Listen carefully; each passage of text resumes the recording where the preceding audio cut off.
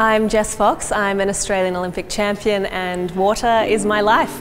It's so important to me, it's important to all of us, but it might not be there forever and we've got to do what we can today to ensure that we've got enough. I've definitely seen the impacts of drought in our community in Western Sydney. You know, Sydney is very reliant on rainfall and so if, you know, we've got a drought coming, what does that look like for us and what are the alternatives for us in the future? Hello.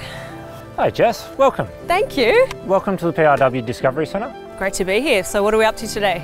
So today we're going to take you on a bit of a walk, explain what the technology is and why we're doing it. All right, let's go. Perfect. What is this Discovery Centre for?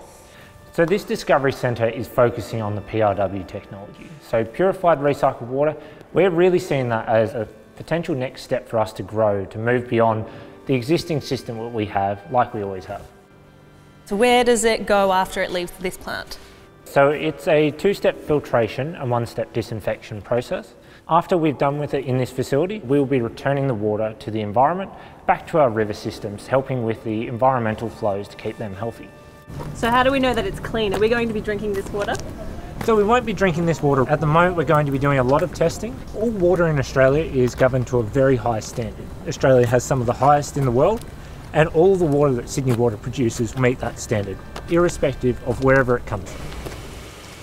Well, thanks so much, James. You can add tour guide to your resume. It was awesome to get a look at this new facility and get a better understanding of the purified recycled water process, how it gets treated. With the risk of drought, the growing population, Sydney needs to look at new possibilities. And hopefully the community can learn a bit more as well, get on board and plan for the future. And it's great to see what Sydney Water's doing. So It's been a pleasure having you. Thank you.